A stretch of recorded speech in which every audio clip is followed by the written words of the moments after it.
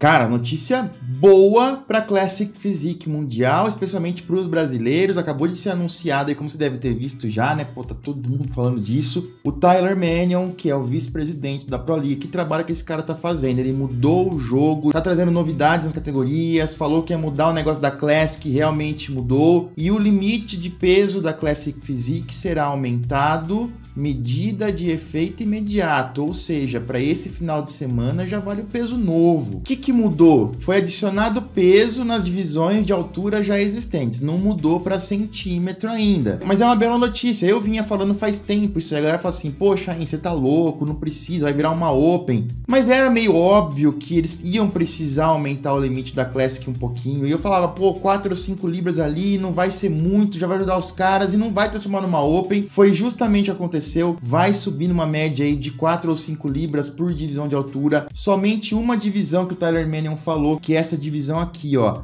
que vai de 6 pés e 1 polegada até 6 pés e 2 polegadas. Eles entenderam ali, o Gorgonoid mandou pra caralho nessa, hein, cara. Eles entenderam que essa categoria tinha um aumento de peso injusto, que era um aumento de 10 libras, portanto, como as outras vão aumentar 4 ou 5 libras, essa só vai aumentar 2 libras, para meio que ajeitar esse problema. Não resolve ainda, não é aquela solução que todo mundo esperava de se criar uma constante etc. Mas, cara, já ajuda e já tira um pouco dessa diferença. Para mim, já é um passo de uma demonstração de boa vontade dos caras em relação a isso, a, a mudar Coisa que não acontecia antes, hein, cara? Tinha alguma coisa errada, os caras morria, mas não assumia que tava errado. Agora eles já estão aí ô, oh, cara, realmente não tava legal isso aí, vamos mudar. E o que que vai mudar? Por exemplo, aqui, ó, altura até 6 pés e 0 polegadas, até. Mas antes o limite da categoria era 222 libras, 101 quilos. Agora 227 libras, 103 quilos. Então o Ramon vai poder pesar 2 quilos a mais. Outro exemplo aqui, ó, até 5 pés e 10 polegadas, né?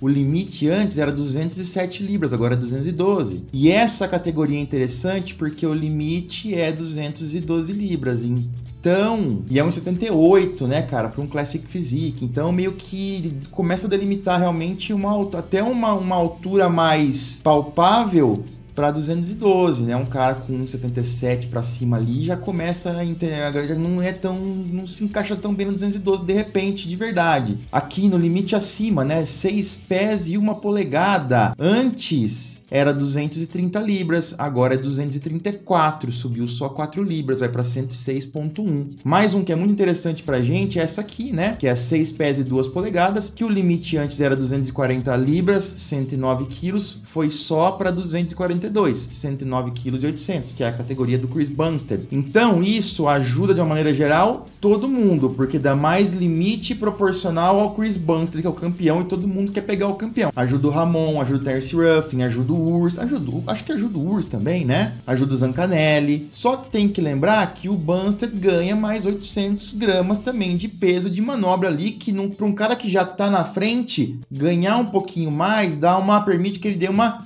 Ufa, uma respirada. A equipe do Ramon fala que com 2 quilos a mais ajudaria muito o Ramon. Então já é uma esperança, já é algo renovado. Eu acho que já pega o, Ramon também, já fala, cara, agora eu vou poder mostrar melhor. Isso muda muito o jogo do Olímpia. Isso muda muito a expectativa. Porque agora a gente tem muita gente que vai aparecer diferente. Vai aparecer mais cheio, vai poder aparecer menos desgastado. E isso cria uma indefinição grande e traz muito mais emoção para a Classic Physique. Eu fiquei feliz com essa mudança Acho que é um belo primeiro passo. Fiquei feliz que todas as categorias subiram. Claro, acaba sendo bom que aquela diferença do Chris Bunster aí diminui um pouco, embora ele possa aumentar um pouco de peso ainda. E aí fica a pergunta: essas 5 libras que o Ramon pode adicionar serão o suficiente para alcançar finalmente Chris Bumstead?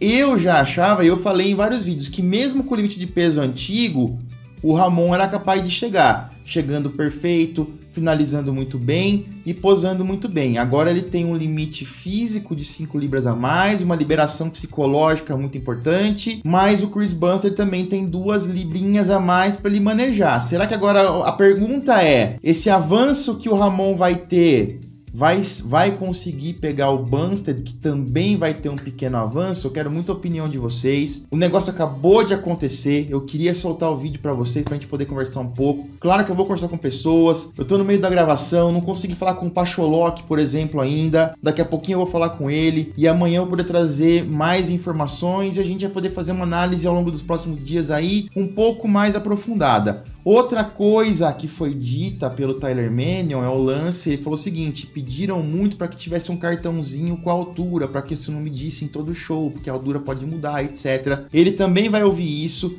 vai ter uma mudança. Ele falou que eles levaram em conta o seguinte para essa mudança: três fatores. O primeiro é que tinha muito cara tentando trapacear na pesagem. E aí vai a minha crítica. Eu acho que o porcentagem de pesagem tinha que ser avaliado por mais gente. Tinha que ter um cara ali em cima olhando a régua ali em cima e um cara embaixo olhando os pés. É simples resolver o lance do, do, do tentando trapacear. Não é um negócio que o cara tá tentando hackear um computador. É um cara pesando, gente, pelo amor de Deus. Segundo, tem os caras que quando viram profissionais, não estão tão ligados assim, e se pesam, né? Meio curvadão. Aí o cara perde altura. Quando o cara vai ficando mais ligado, ele vai se levantando, se reposicionando. Por isso que às vezes o cara vai ganhando altura ao longo da carreira da Classic Physique. E ele também levou algo muito interessante que eu fiquei feliz, cara, de, de terem levado isso em consideração, que é o seguinte: aquela história de quando o cara tá desidratado para competir, ele perde líquido, perde, enfim, ele diminui um pouquinho ali, até um centímetro, até um pouquinho mais. Por isso o Tyler Mannion falou assim que é o seguinte agora: depois do cara virar profissional ele vai aferir a altura três vezes e a altura que vai para o cartãozinho dele será a média dessas três alturas. Como ele falou que considera um lance da desidratação, muito possivelmente eles vão permitir que eles pesem em algum momento do off-season também, ou alguma coisa assim para se fazer essa média. Vamos ver quais serão aí as prerrogativas que eles vão usar para isso e depois daí aparentemente fica lá no cartão, fica num sistema que eles vão ter computadorizado ali que eles estão fazendo um sistema novo de inscrição, então eu acho que bastante coisa resolvida já. Um dia muito interessante, muito legal, que vai gerar